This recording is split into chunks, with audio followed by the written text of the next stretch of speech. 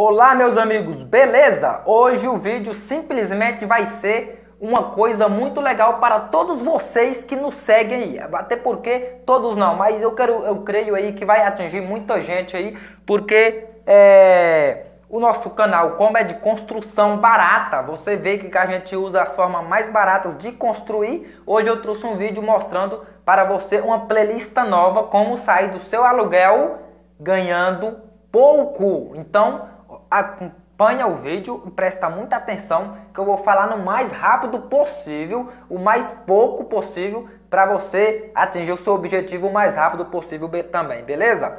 Pessoal, como que eu vou sair do meu aluguel ganhando pouco, Andrade? Eu só ganho 1.200. Pago um aluguel de 350. Beleza, vamos lá para as contas.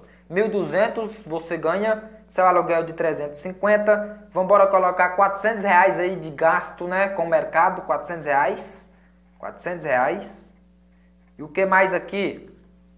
Então, 750, vamos colocar aí 200 reais de, pra mim tomar minha cerveja, 200, vamos, vamos colocar 200 aqui. 100 reais eu dou pra mulher também pagar as continhas dela, né? Então ficou o que aqui? 350, 750, 1050. Ainda sobrou 150 reais aqui, ó.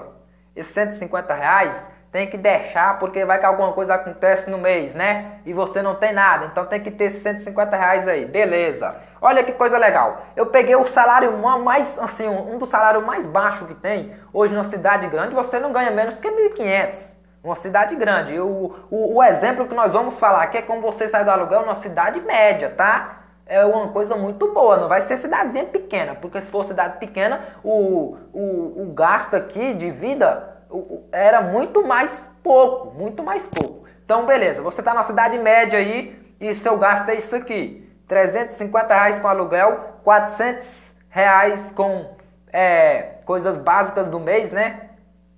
A dispensa, 200 reais aí com diversão, né? Tá? É pouco, mas o cara, a gente trabalha e quase que não diverte, né? 100 reais pra mulher e sobrou 150 aí por mês que eu guardo, né? Na poupança, vai que eu preciso aí uma hora, belezinha.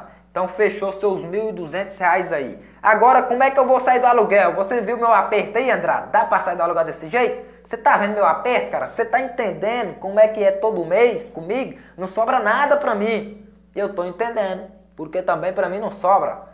Mas vamos ver lá, vamos embora ver se não sobra de verdade. A única coisa que você não pode abrir mão aqui no momento é do aluguel e dos seus 400 reais de dispensa. O restante, filho, abre mão de tudo. Ah, vou abrir mão da minha diversão? Tem que abrir. Vou abrir mão do dinheiro de 100 reais que eu dou para minha mulher e gastar com o que ela quiser? Tem que abrir. Porque uma coisa também é, se você sai do aluguel, o dinheiro que também você paga no aluguel, você vai poder divertir com ela. Então, no momento, vai você vai passar um momento da vida de amargura, tá entendendo? Você vai ter que passar um momento de amargura para você conseguir o que você quer, filho. Porque não, se você quiser a mordomia direto, você nunca vai sair do aluguel. Uma coisa é, se você quiser viver tranquilamente a vida, sem nenhuma amargura, você vai ficar no aluguel a vida toda. Você vai ver seus filhos e vocês filhos não vai, vai, não vai sair do aluguel também, porque a educação financeira que você deu para ele foi essa de divertir sem preocupar com o futuro. Infelizmente é a verdade. Mas você abrir mão aqui de 200 reais do, da cerveja, não vai mais tomar, que é até bom passar a sua saúde. Dos 100 reais aqui da sua esposa, vai abrir mão também. Só aí você já economizou 300 reais. E tem os 150 que você não pode abrir mão. Mas vamos arriscar, vamos arriscar, vamos embora colocar, vamos embora ter um pouco de fé também. Então tem 300 reais lá, você vai pegar mais 50 desses 150 que você guarda. Então você vai guardar só 100. Então você vai ter 350 reais poupado, que foi 200 reais da sua diversão, 100 reais da diversão da sua esposa e 50 reais da sua poupança por mês. Vai ter mês que você vai poder pegar esses antes 150 aí, tá bom? Então esses 100 reais, às vezes você nem gasta ele. Mas é bom guardar esses 100 reais aí. E quando, pessoal, esse, esse vídeo está sendo para aquelas pessoas que necessita bastante da sua casa própria e ganha pouco. Porque eu sei que não é poucas pessoas não, é muitas, são muitas pessoas. Ah, lembrando aqui que são muitas pessoas que ainda não têm suas casas próprias. E nós vamos orar a Deus aí para Deus abençoar vocês, tá bom? Vamos lá. Você sobrou 350 reais. O que, que eu vou fazer com ele? Amanhã mesmo você vai na, na primeira. Você vai na sua imobiliária do, da sua cidade. Você vai na imobiliária de uma delas, se tiver mais de uma. Você vai em uma delas, vai fazer um orçamento, vai em outra, vai em outra, vai em outra, vai fazer um orçamento. A que melhor te atender os orçamentos é que você vai comprar o seu terreno. Ah, mas só com 350 reais eu consigo comprar meu terreno? Você comp consegue comprar um terreno hoje até com 50 reais, meu amigo. Financiamento hoje aí tá aos baques, tá batendo na sua porta toda hora. E cada um, cada, todo dia, toda hora chega um financiador na sua casa querendo que você compra um terreno na mão dele. Então você vai fazer a loucura de comprar. Ah, eu não consigo dever. Você vai dever. Você tem que dever. Você vai ter que dever a partir de hoje para você conseguir o seu sonho, beleza? Perde o medo da dívida. Quem não deve, não tem. Quem não deve, não tem. Beleza? Então vamos lá. 350 reais, eu quero comprar. Quanto é o terreno na, na cidade? Uma cidade média de 20 mil. Cidade média, um terreno aí, vou colocar de 20 mil. Na minha cidade pequena, um terreno já está 20. Mas é porque o povo aqui, eles gostam muito de vender as coisas caras. Em cidade média, basicamente não é assim. As coisas é mais em conta. Às vezes a, cidade mais pequena, ela sai, sai mais cara do que a cidade média. Então eu tenho cidade médias vizinhas que terreno é 10 mil reais, aqui para nós é 20. Então vai depender do seu, da sua cidade. Um, 20 mil reais aí num terreno, tranquilo. 20 mil dividido por 350. Opa, 20 mil dividido 350. Vai dar 57 parcelas. 57 é um pouquinho. Vamos colocar 58 parcelas. 20 mil reais vai dar 58 parcelas de 350. Ai, meu pai, 58 vai dar quantos meses? Quantos anos? 4 anos e 9 meses. 4 anos e 8 meses. É muito? É pouco. É pouco. Você vai pagar seu terreno em 4 anos, em 5 anos. Daqui 5 anos, você vai ter seu terreno na sua mão. Que coisa boa. Compra seu terreno amanhã? Vamos comprar seu terreno amanhã, pessoal? Vamos orar a Deus hoje? Vamos orar a Deus hoje de à noite? Pedir Deus coragem para nós encarar um financiamento de um terreno amanhã? Olha que coisa legal, vou te explicar para você aqui agora. Já é 8 minutos de vídeo, não sai daí, tá? Fica aqui ainda. Você vai ter 58 vezes de 350 reais pagando.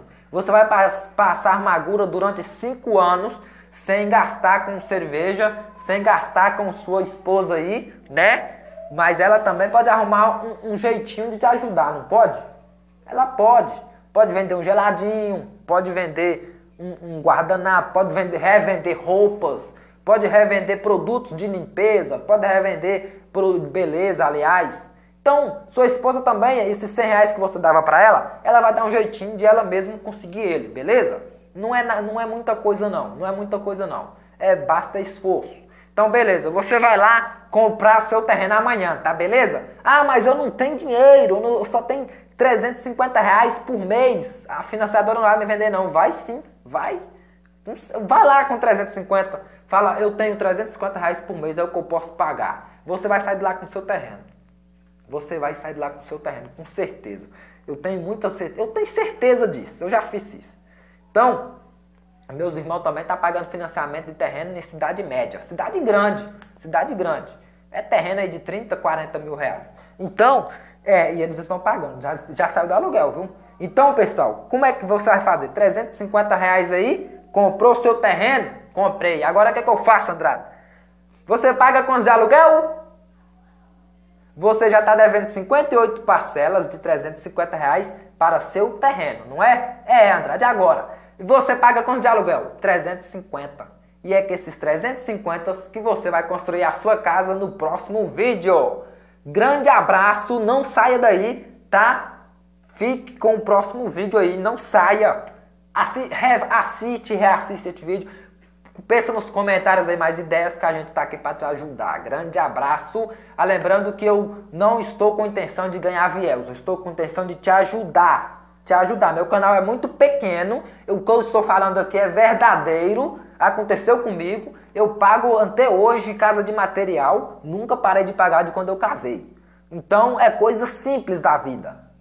Só sei que quando eu faltar, a minha casa vai estar num valor de 500 mil, mais ou menos, e eu vou deixar para quem? Para o meu filho aí, de boa, para a minha descendência aí. Não importa se eu vou passar minha vida devendo, o que importa é quem está vindo atrás de mim vai ter o que falar que ganhou, ficou com alguma coisa, né? Então, um grande abraço, pessoal. Espera o outro vídeo que já está por vir aí no canal, que eu vou fazer essas playlists bastante. Vou aproveitar que eu estou com tempo a mais agora e vou fazer muitas playlists aí para você, muitos vídeos para você conseguir o seu sonho da casa própria.